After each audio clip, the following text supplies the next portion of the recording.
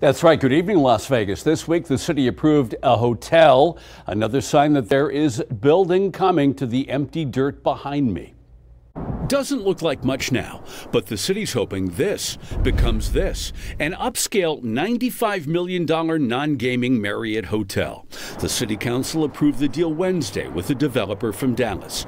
It's all in Councilman Cedric Crear's, Ward 5. What does this mean for Symphony Park?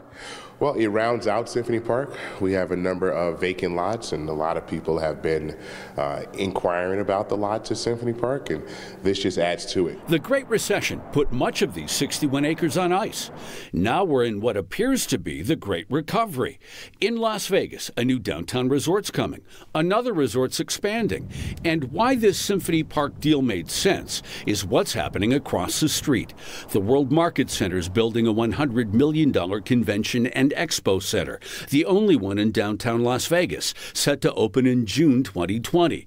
Bob Maricich is the Market Center's CEO. We really think that our expo is a huge addition for the hospitality industry in downtown Las Vegas. So Symphony Park is turning into quite the location. Here's the mayor. We're about to groundbreak on two mixed use apartment and retail space, the one on the east of Symphony, um, the Symphony Park, and one on, on the Smith Center. They're building new parking garages for all the expected traffic, all part of a building boom that may finally be arriving. So uh, let's talk some hotel timing. The city is hoping it is done by the summer of 2020, but that might be aggressive.